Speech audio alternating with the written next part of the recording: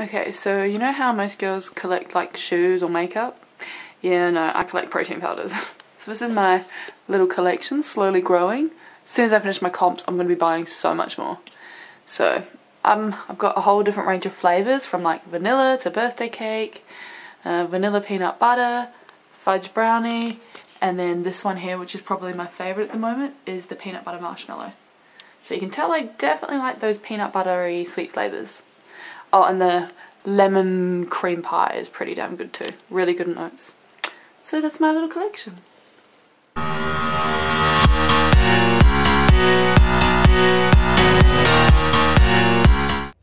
Hi everyone, it is 7 a.m. and I just trained legs at Shape Up. Um, so just a little update on where I am. So this is will be this is my five weeks out um, vlog. Um, this weekend will actually be four weeks out. Um, so technically that's like three weeks because that week of um, that peak week doesn't really count because you're depleting, carving up and everything.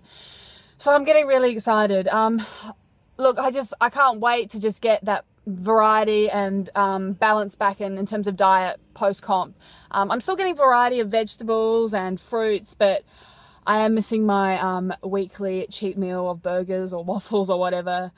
Um, so I just had my weigh in today and I've actually lost one kilo and 200 grams, which is pretty exciting. So I'm now, I'm in the 63 zone, which is, yeah, pretty crazy. Um, I did, I have got a new diet as well. Um, so last time I spoke to you, I was having the, um, living the life of the high carbs, um, high fat diet. So right now I've got a big change. Um, I'm on a very, very high fat, low carb, moderate protein kind of diet. Um, my body's obviously responded very well to that.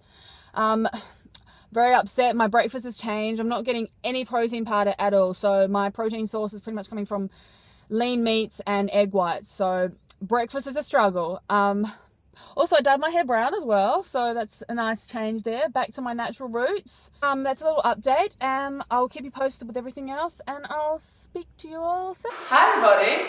So I'm about to make my favourite shake in the world right now. It's 100% comp friendly. I call it Nutella Frappe. It's not actually Nutella, but it's pretty much got the same elements of Nutella, and I swear it's like under 10 calories. So the main elements of this, um, I'm using the hazelnut coffee, that's secret, and sugar-free hot chocolate, and uh, this is sweet leaf hazelnut drops. And I'm just blending that up in the Nutra, what is it? I don't even know what this is, the Magic Bullet. I've already put some ice in here. So, what you're gonna do is, um, depends how strong you like your coffee. I like mine pretty strong, so I'm probably gonna put like three teaspoons of coffee in here. Um, you wanna melt the coffee a little bit first, just so it doesn't um, get, um, just so it dissolves nicely. So mix that up a little bit. Um, put your hazelnut drops in. Um, I reckon five will do it. Two, three, four, five. And then you're going to mix that up nicely. Pour that into your, I've already put the ice in there. Pour that in there. And then I've got my around three taste. See, they say 15 grams is a serving, so I'm probably just gonna put like three teaspoons in that. So one, two, three. All right. Now we're gonna add a bit of water in there. So I like it nice and thick, so I'm not gonna put too much water in there because I want to have it like icy and thick. I didn't have enough ice, so I've only got about four cubes in there. So when you make it, make sure to put a lot of ice in. So as you can see, this is zero fat. Zero fat and probably under one gram of carbs. Okay, so done that. I'm gonna blend that up.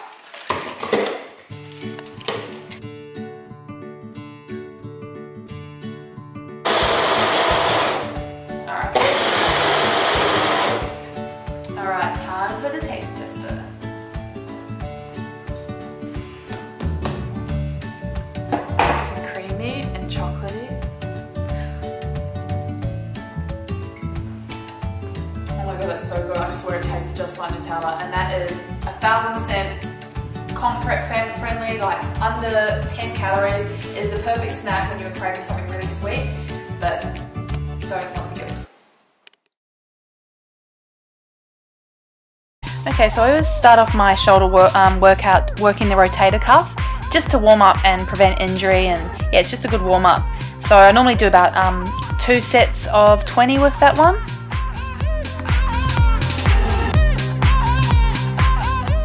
Okay, this was a new machine we were trying out um, at Jetts Gym. So this was like um, an upright row, so it's really targeting that um, top cap of the shoulders there. So we did uh, three sets of 15 and increased the weight on the last set and then we um, did a drop set with a lighter weight to end it off with.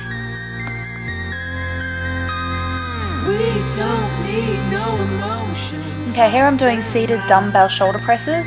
So with these I did three sets um, at 20 and then for my fourth set I increased the weight a bit and pumped out about 8 or 10 reps and then um, straight after that I did a drop set at a lower rate um, lower weight range, um, pumping about, about 20. So with these, there's many different um, positions and angles you can do with this one here. This, um, this is my favorite exercise because it really works that shoulder cap. So you can see in the next clip, I change up my position a bit. I've got my forward back, um, my foot back. So it just helps with a bit of balance and just kind of hits a different angle of that cap. So with these, I did um, four reps at about 15 and then um, for the last rep, um, for the last um, set, my fourth set, I did 10 and I increased the weight a bit and then I ended that one with a, um, a drop set which you'll see in the next clip. So I drop set that lateral side raises with flies so I do these with a really really low weight of 1 kilos and just kind of pumping that out and you can really feel the burn in that one is really targeting your rear delts and it's getting a little bit of that um, top shoulder as well. So we did um, three sets of 20 with that one.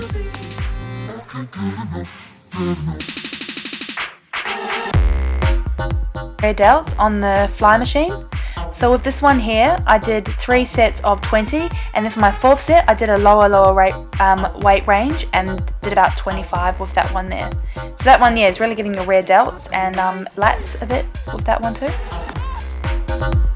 And that concludes this week's video vlog. Make sure you click like and subscribe and tune in for next week's one, which will be four weeks out.